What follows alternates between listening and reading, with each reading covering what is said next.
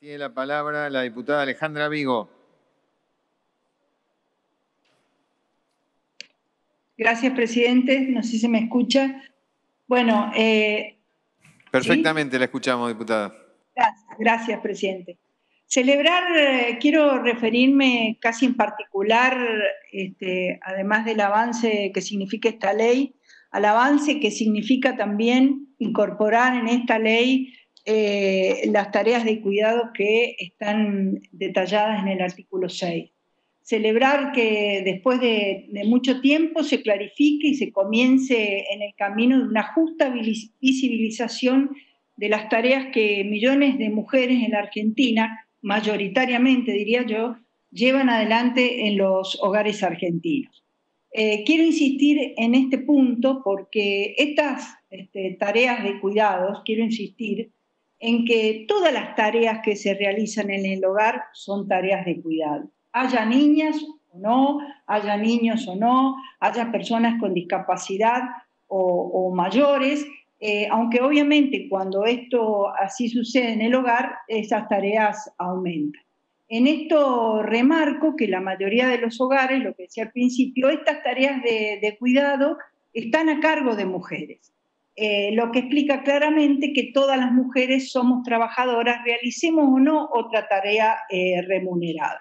En esto eh, me parece importante que la visita que tuvo, tuvo en la comisión la directora nacional de política de cuidado del Ministerio de Mujeres, Género y Diversidad, que señaló esto que decía al comienzo de la invisibilidad de las tareas domésticas y de cuidado asociada a esto de las mujeres. Pero quiero, quiero este, eh, decir claramente que me parece que en este sentido siempre eh, nos quedamos a mitad de camino.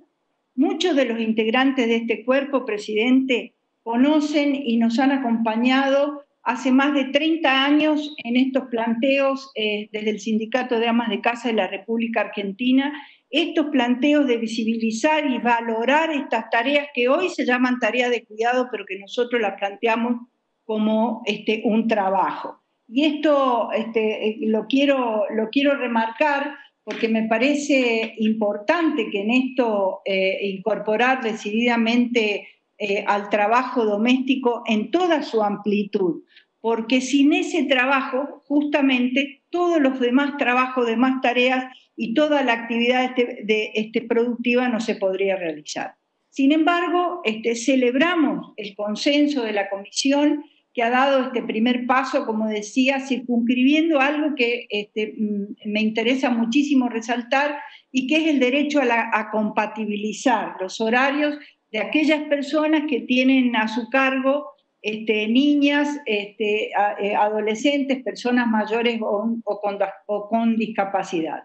Nos parece eh, muy importante que se haya detenido en este concepto, que se haya incorporado después de tanto tiempo, porque no solamente aquí estamos tratando esta ley eh, que como bien se ha dicho aquí, pone un paso adelante esta, y, fortalece esta, esta nueva modalidad y esta, esta nueva naturalidad que va a, quedarse después de la pandemia, sino que fundamentalmente está incluyendo este, y está poniendo en valor esta tarea que yo este, hacía referencia. Nos parece importante poner en claro hoy las tareas que realizan las mujeres este, las millones de mujeres en la Argentina, porque en su mayoría, más allá de cómo estén este, constituidos los hogares, la mayoría son mujeres.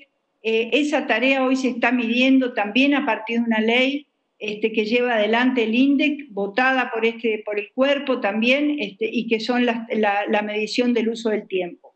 Por eso, presidente, vamos a acompañar este, este, este proyecto diciendo también que va, eh, es necesario que sigamos insistiendo con estos planteos, porque nos parece importante abordar la realidad del trabajo en el hogar, sobre todo a partir de, este, de, esta, de esta nueva modalidad que, es el teletrabajo, que justamente se comience a realizar de allí donde siempre ha habido una tarea invisibilizada este, y anónima. Así que agradeciéndole, presidente, y adelantándole, por supuesto, nuestro acompañamiento a esta ley eh, más allá de estas consideraciones. Gracias. Muchas gracias, diputada.